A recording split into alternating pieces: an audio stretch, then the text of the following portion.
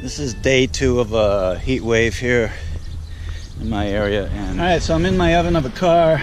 Turn the AC on. I haven't closed the windows yet because I want to feel some cool air. What? I don't know. Uh, seatbelt. Yeah. I'll get back to you in a minute.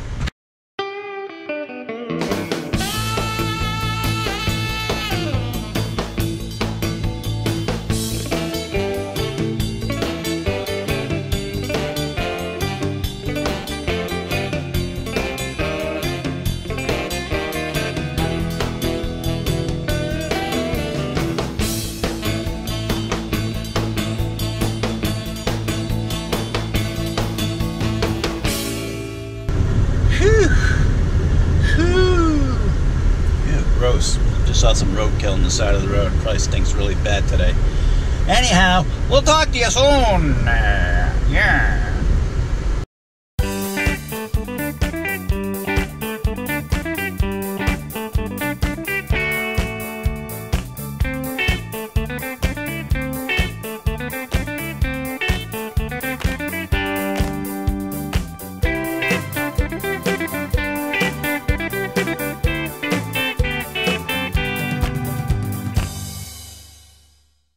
So folks, I'm down here at the local grocery store and uh, just across the street a ways, they're going to be blasting off fireworks tonight and it's uh, it's only 10 minutes to noontime and people are already setting up in this parking lot and along the edge with their lawn chairs and their blankets and their vehicles and it's weird seeing that considering how hot it is outside. Well, maybe it's not as hot as it seems. I don't know. As many times as I've seen fireworks, I don't see the fascination with it, but okay.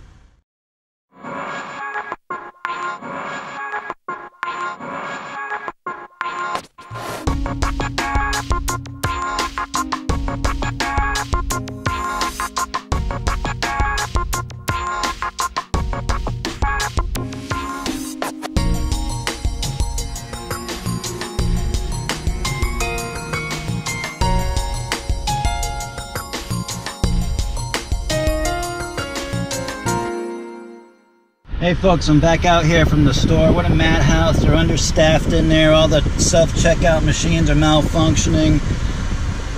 Phew. Yeah, you can tell it's a heat wave and there's fireworks tonight. Everybody's shopping and dropping their food on the floor and getting annoyed and aggravated with the store and their lousy equipment and their understaffing and man this is the point I reach where I can't wait to get back home and out of here.